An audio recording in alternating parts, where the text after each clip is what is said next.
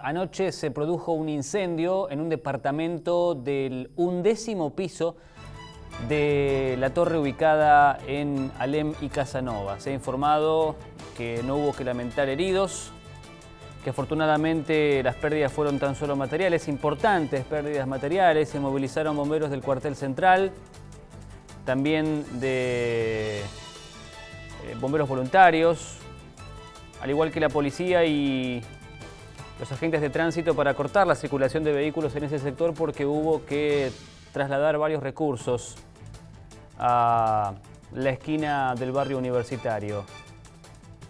Quedó el interior del inmueble, como vemos, muy afectado. Los muebles también eh, quemados. Y esta es la parte exterior, ya esta mañana del lugar, cuando estábamos allí, con las consecuencias de lo que fue este incendio. Dialogábamos durante la mañana de hoy con uno de los vecinos que explicaba que hubo que evacuar a todos para que los bomberos puedan trabajar en apagar el fuego.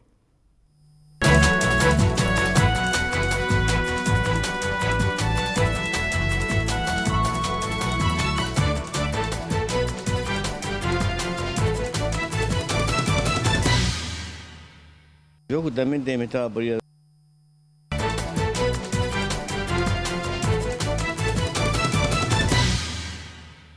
Yo justamente me estaba por ir a dormir. Y pasaron los, no, pasaron los vecinos, sentí un poco de eh, olor, a quemado, pasaron los vecinos tocando la puerta, los demás arriba, y bueno, bajamos todo normalmente como estamos acostumbrados a hacerlo, o sea, cumpliendo un protocolo que, tiene los edificios. Eh, llamaron a los bomberos, y los bomberos aparecieron enseguida, pusieron ese, aparato, esa escalera que tienen ellos y, o sea, terminaron inmediatamente con el incendio, o sea, todo normal. ¿Qué vive? Yo vivo en el 10 y ah, el... Claro, y el incendio se produjo en el 11. ¿Hasta ese momento sabían en qué departamento, qué era lo que había pasado o no? Eh, sí, sabíamos en el departamento porque había un griterío bárbaro en el departamento, o la gente desesperada, por supuesto pero después todo normalmente.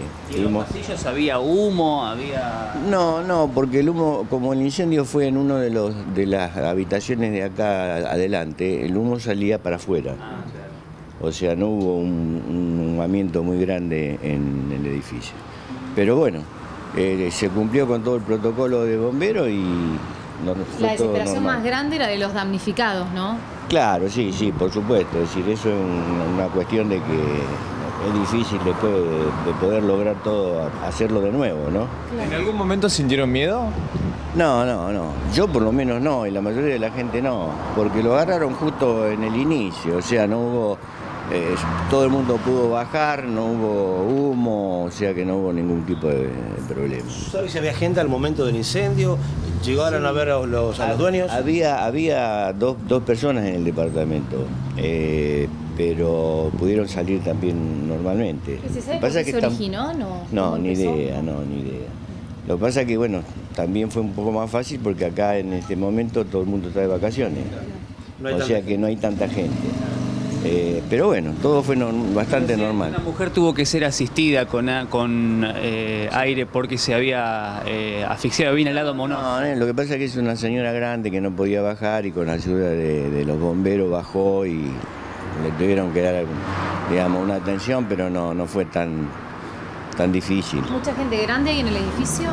No, no, eh, son dos personas grandes. Claro, ¿y tuvieron que bajar todos por escalera? Digo, ¿cómo fue la evacuación? Bajaron por la escalera y algunos, eh, algunos este, bomberos ayudaron a las personas a bajar por el ascensor, pero en general todo por la escalera.